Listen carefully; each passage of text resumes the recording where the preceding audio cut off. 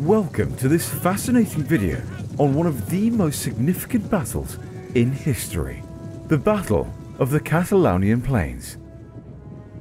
This epic clash between two great powers, the Roman Empire and the Huns, took place in the year 451 AD, and its consequences would shape the course of European history for centuries to come. Gaul is under threat from the scourge of God, and Aetius, the leader of the remnants of Western Rome, must join forces with his adversary Theodoric of the Visigoths. Their goal is to unite and face Attila and his Huns in Western Rome's final major battle. Following the devastating impact of smallpox that affected the civilized world from the west to the far east, the Huns also made their presence felt. In 311, the Eastern Huns laid waste to Luoyang, the capital of Jin China, while the White Huns and Alchon Huns conquered eastern Persia and India in the 370s. By 400, a significant group of Huns settled north of the Danube and pillaged the Eastern Roman Empire. In 426, the Huns arrived in Gaul not as conquerors, but as mercenaries, fighting under the Roman military commander Flavius Aetius. As Rome lacked the resources to fight the Visigoths, Burgundians and Franks, Aetius employed his connections to obtain mercenary armies, which proved to be devastatingly effective. The Germanic people settled in Gaul must have been shocked to encounter the Huns, as they and their ancestors had fled from them and other tribes across most of Europe. However, now the Huns had followed them to the world's western edge. During the years 395 to 435, the Huns in Gaul mostly engaged in mercenary work or raiding, since they lacked a single king to unite them into a conquering force. This changed with the rise of Bleda and Attila, who became the powerful leaders that united the tribes and launched attacks on the Balkans. After Bleda died in 445, Attila became the sole ruler and forced the Eastern Roman Empire to pay him a tribute of 2,100 pounds of gold per year in 447. Attila and the Huns became the dominant power in Europe, forcing the Eastern Roman Empire to pay tribute. Events in Western Rome, including a succession crisis among the Franks and Emperor Valentinian III's sister Honoria sending Attila a ring, led him to march towards Gaul to make Childeric I his puppet ruler of the Franks and raid Gaul. Aetius raided a coalition of Visigoths, Burgundians, Armoricans, Franks, and Saxons to fight against the Huns. Attila sacked cities in Gaul but Aetius and Theodoric I united their forces to fight against him. Attila succeeded in making him a puppet king among the Franks, but decided to raid the land of the Alans.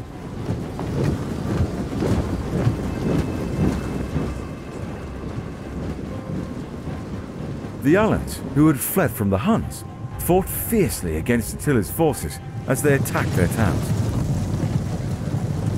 The climax of the battle was the siege of Aurelianum, during which Attila struggled to take the city.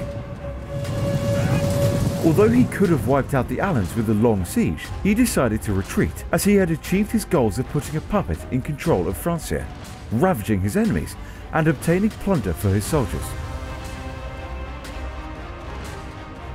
Aetius arrived after Attila's retreat and formed a coalition with the Alans and other small Germanic tribes to chase down the Huns. The reasons for the Alans and the other tribes to join the coalition were to recover their lost possessions, seek vengeance, prevent future Hun raids, and avoid being preyed upon by the Romans and Visigoths if they did not join.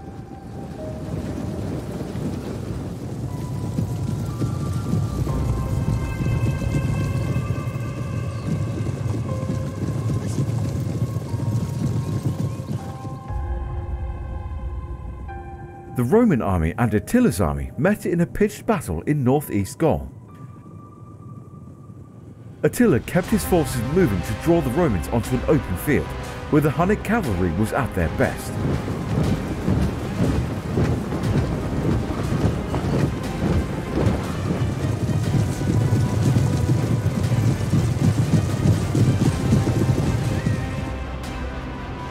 On June 20th, 451, the two armies faced each other on the Catalaunian plains. There are conflicting sources on what happened next, with the traditional Roman narrative being that the Visigoths defeated the Huns and saved Western civilization. However, modern historians criticize this interpretation as copying sagas from antiquity, specifically the Battle of Marathon. On that morning, the armies gathered and positioned themselves roughly a mile away from each other, keeping out of immediate arrow range.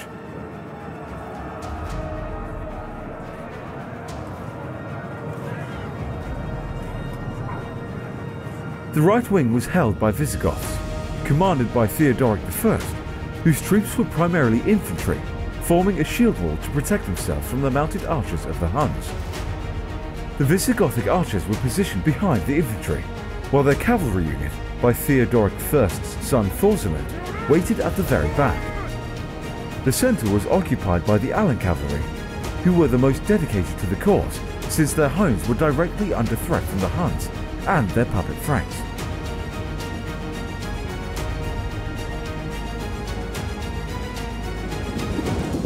The Romans and their foederati stood on the left wing, assembling like the Visigoths, with the infantry forming a shield wall in front, archers behind, and cavalry at the rear.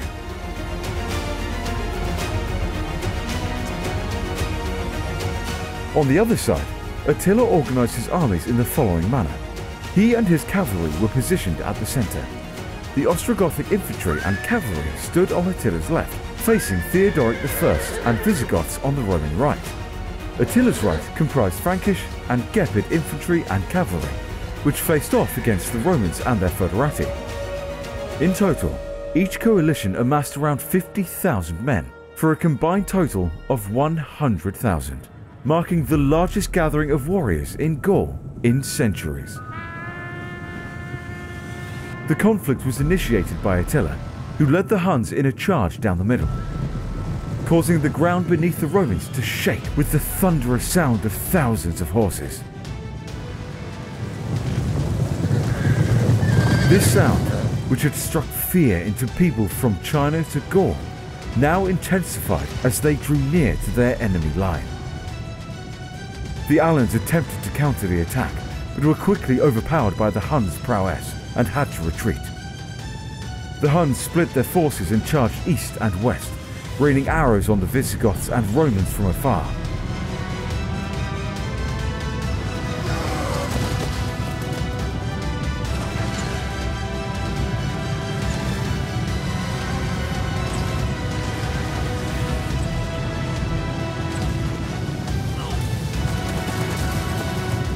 Despite this, the shield walls of the Visigoths and Romans were very effective against the Huns, and their stationary archers inflicted significant damage on the enemy.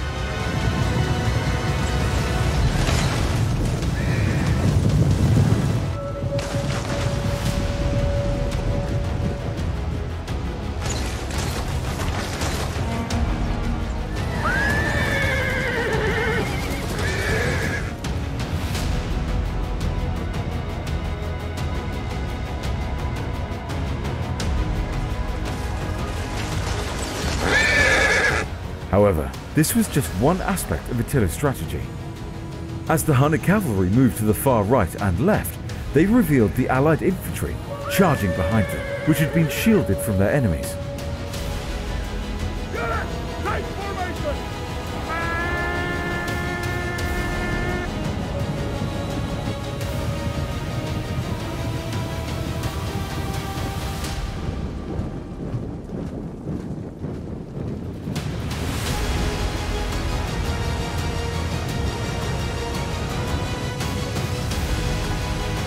The Huns made a second charge towards the open centre, and the battle formation that was once straight disintegrated, and thousands of horsemen clashed with each other.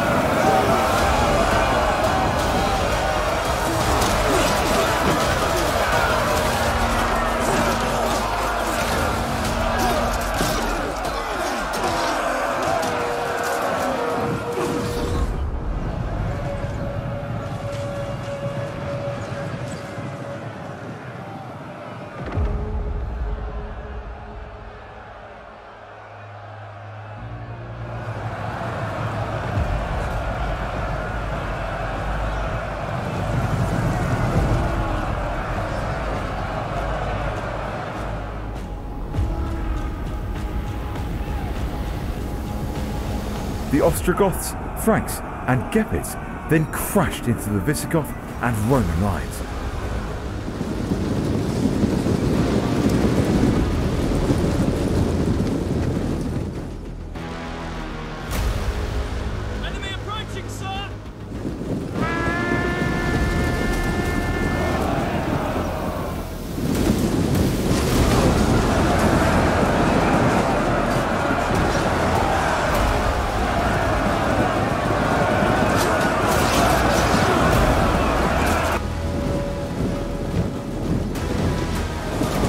100,000 warriors were now engaged in battle. The ferocity of the Ostrogoths, Franks, and Gepids was apparent as they attacked the Visigoths and Romans. Nevertheless, the Romans and their allies had one advantage, their archers, who fired a barrage of arrows at their adversaries, buying their infantry time to hold the line.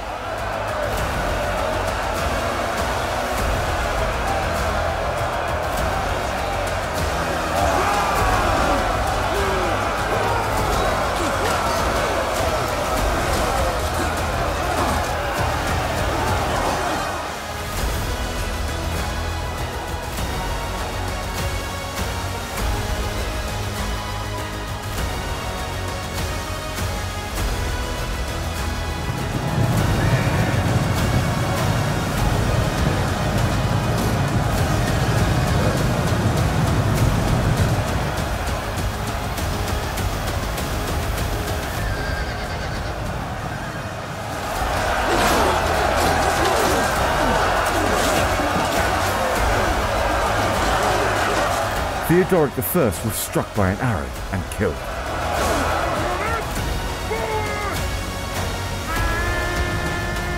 Thorismund led his cavalry from the right. The Alans regrouped and charged forward, and the Roman cavalry approached from the left. The result was complete disorder and chaos.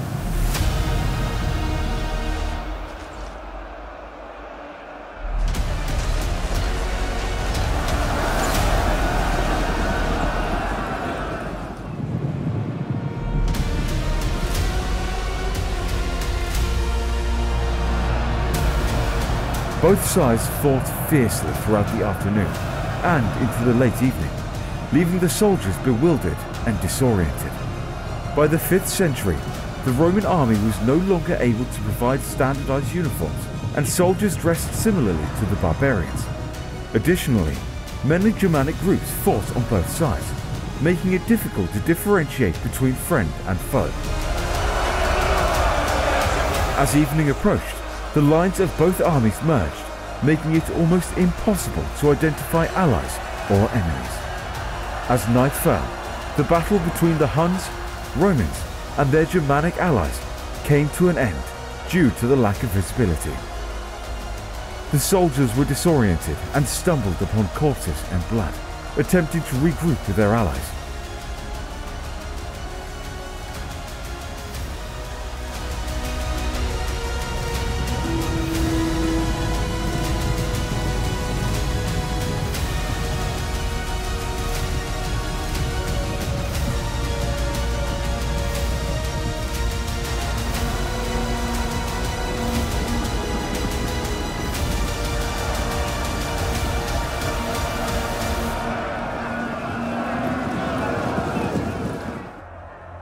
Throughout the night, soldiers withdrew to their respective camps and waited anxiously for the morning, as neither side knew the outcome of the battle.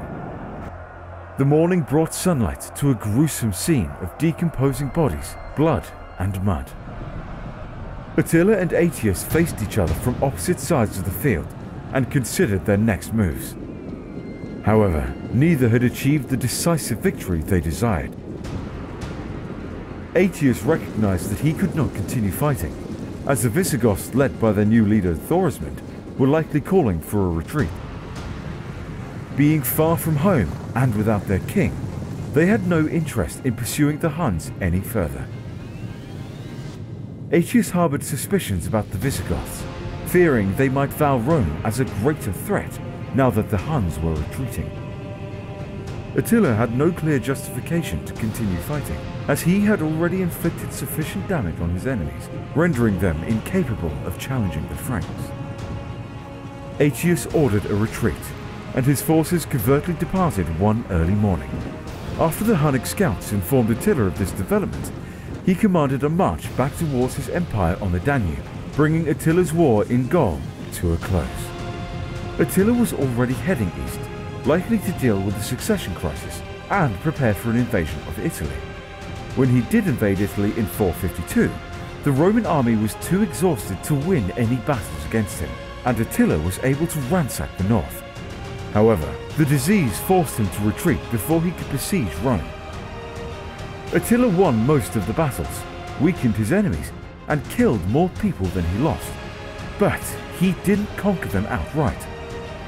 After his death during a marriage festival for his newest wife, his sons launched a civil war that destroyed the Hunnic Empire and ended its threat to Europe. We hope you enjoyed this episode of Aditu Laudis. If you did, make sure to hit the like button and share this video with your fellow history buffs. And don't forget to subscribe to our channel for more epic battles and stories. Until next time, farewell.